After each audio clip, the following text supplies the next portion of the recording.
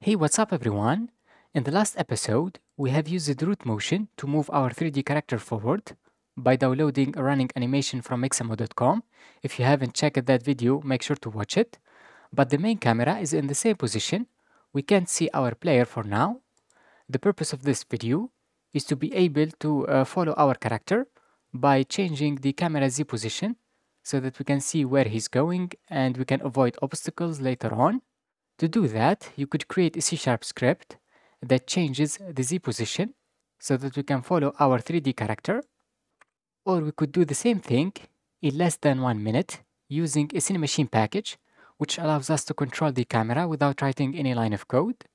You could also use it for other games like third-person game, a first-person shooter, and so on.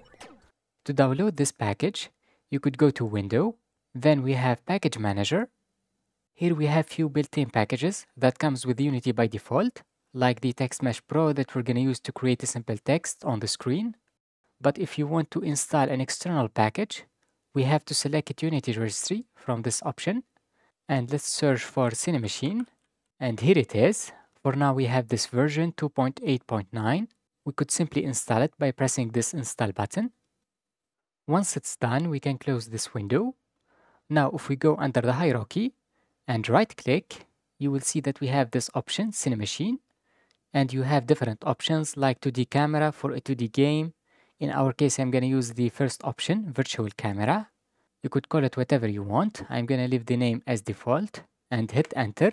From the inspector, we have this component, which is called Cinemachine Virtual Camera, and it contains few parameters, like this parameter follow. We need to drag in the object that we want to follow using our camera. In our case, we are going to use the player, which is this object. For now, it is called tie running. Let's give it another name, like player.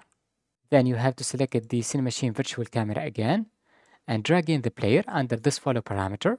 And there you go, now we can see our player you notice that we can't see our plane because the camera is looking at the bottom and the planes can't be seen from the bottom side.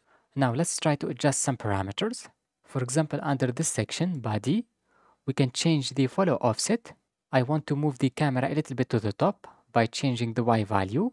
And there you go, now we can see our plane. Also, I want to change the Z value to minus 7 so that we can see our player much better. Under this parameter, aim, we have this little warning because we need to reference a look at object. We could make our camera looks at a certain point, like the feet of the player, but we don't need that for now. I'm gonna change this to do nothing, and let's hit play.